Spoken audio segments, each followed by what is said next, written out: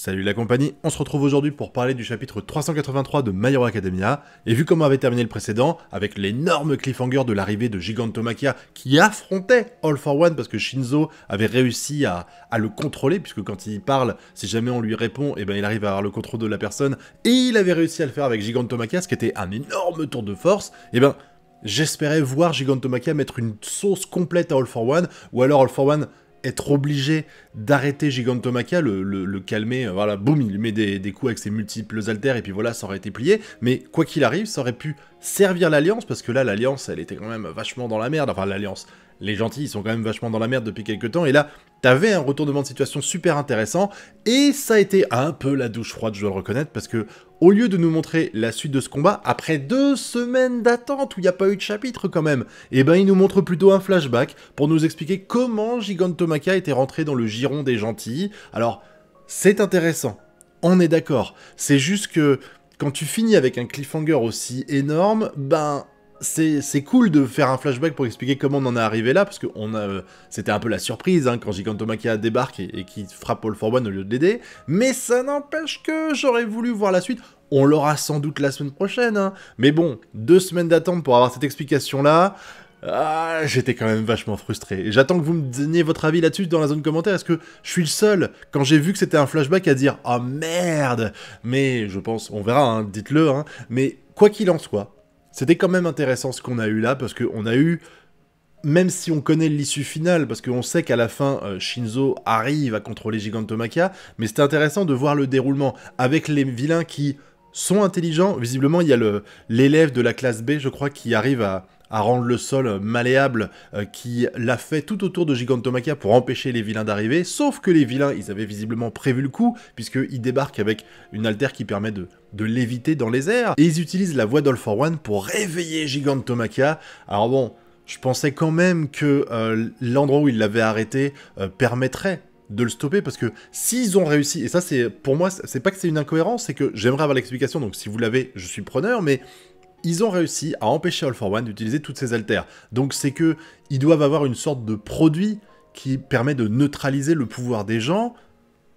Pourquoi ils le font pas sur Gigantomachia je veux dire, le mec, il, est dans un hangar énorme, donc t'as l'impression, quand on le voit à un moment donné dans la rue avec Mina dans un flashback, euh, bah, il est grand, certes, mais il fait pas 8 mètres de haut. Donc je me dis que s'ils arrivent à le calmer et qu'ils lui donnent le produit qui permet de stopper le pouvoir des altères, ou même réussir à l'endormir, je sais pas par quel miracle, ben normalement, même si euh, t'as des gens qui disent, ah, enfin, s'ils utilisent la voix d'Olforan pour faire, oh, viens, Gigantomagia, copain, on a besoin de toi, normalement, il est censé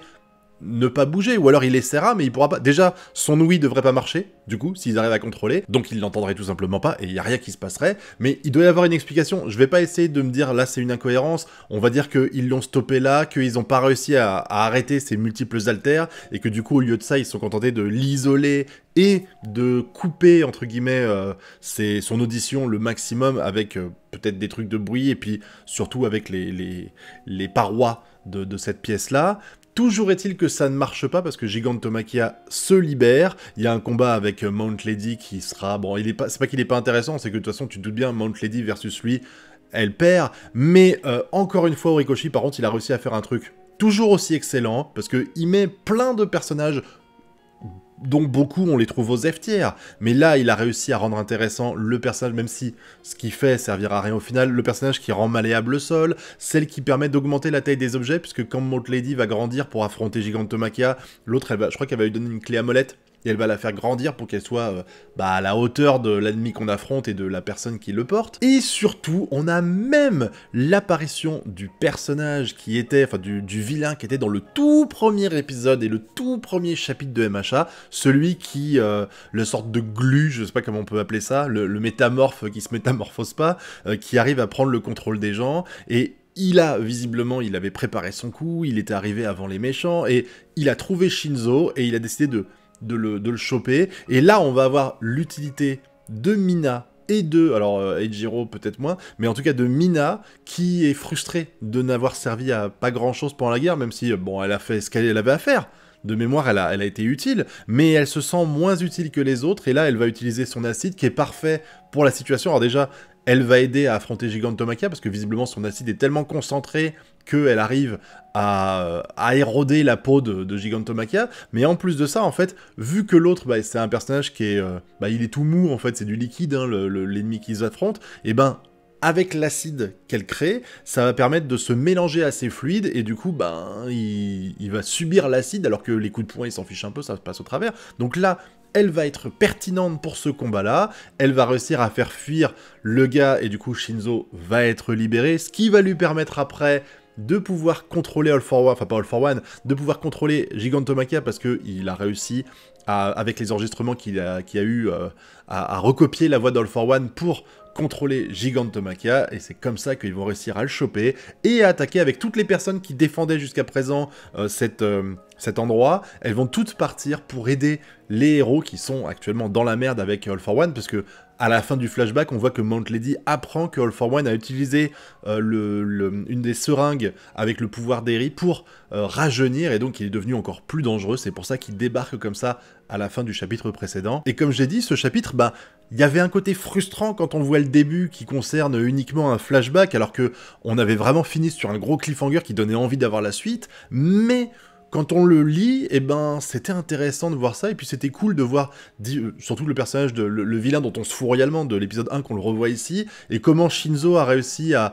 à prendre l'ascendant sur Gigantomachia pour le contrôler. Sans parler du passage avec Mina, j'ai bien aimé euh, Mina et Jiro parce que Mina elle dit euh, voilà ben maintenant je suis euh, je suis un on est à égalité parce que j'ai pu t'aider parce que Jiro était visiblement dans le caca. Je, je, trouve d'ailleurs au passage petite parenthèse que les dessins d'Orikoshi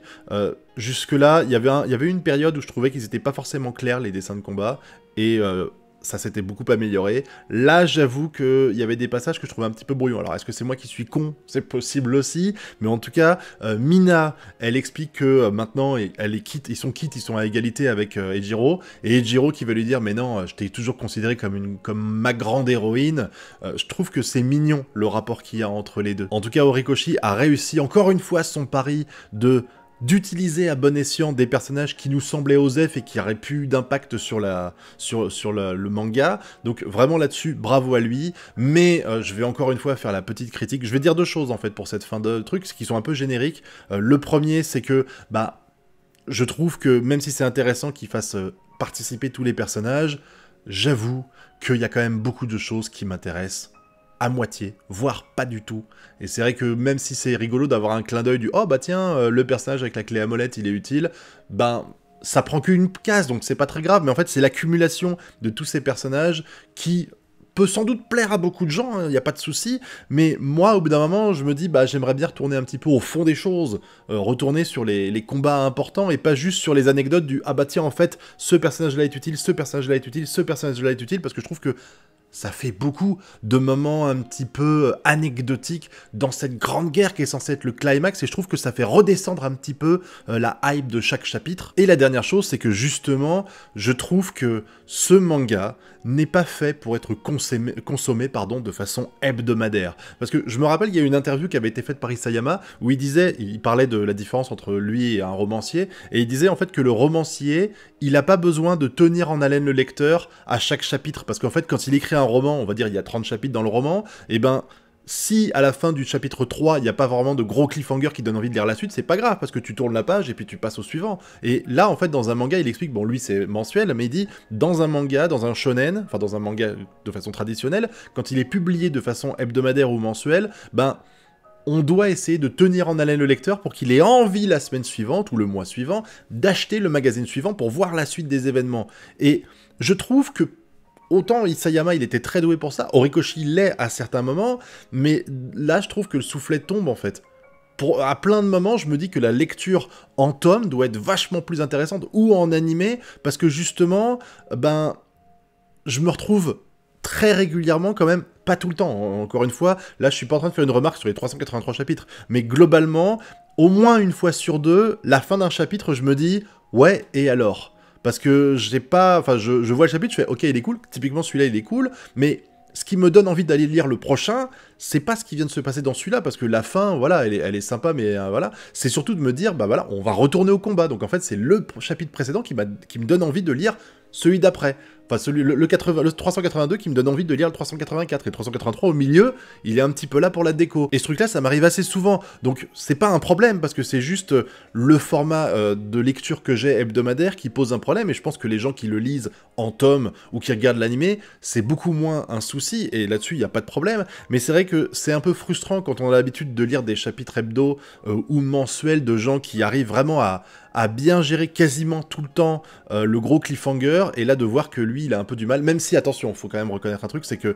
Isayama, c'est mensuel. Donc en fait, il a besoin de tenir en haleine une fois par mois, et le mois suivant, il a 45 pages pour raconter une histoire et avoir un cliffhanger. Alors que Horikoshi, il a 20 pages et il doit réussir à trouver une idée de cliffhanger toutes les semaines. C'est beaucoup plus compliqué, on est d'accord. Mais ça n'empêche que dans MHA, je me retrouve souvent, et je suis peut-être le seul dans cette situation-là, dites-moi dans la zone commentaire, mais je me retrouve souvent dans la situation où je me dis, ben, il n'y a pas j'ai envie de voir le chapitre suivant, mais je suis pas là à me dire oh putain, oh là là, ce qui se passe à la fin de ce chapitre-là, c'est incroyable, vivement la suite. En tout cas, ça n'empêche que bah, j'ai passé un agréable moment, malgré ma déception du début en voyant que c'était un flashback. Euh, je suis content d'avoir réussi à j'ai la curiosité qui me permet d'apprécier ce qu'on vient de voir à propos du mais comment Shinzo a réussi à convaincre Gigantomachia de, de participer au combat contre All for One. Donc c'est très bien, merci Orikoshi pour ça. Vivement la semaine prochaine pour revenir dans le vif du sujet. Et j'attends que vous me donniez votre avis sur tout ça dans la zone commentaire. N'oubliez pas également le pouce bleu, l'abonnement et le partage sur les réseaux sociaux, ça m'aide beaucoup. Quant à nous, on se retrouve très bientôt pour de prochaines vidéos.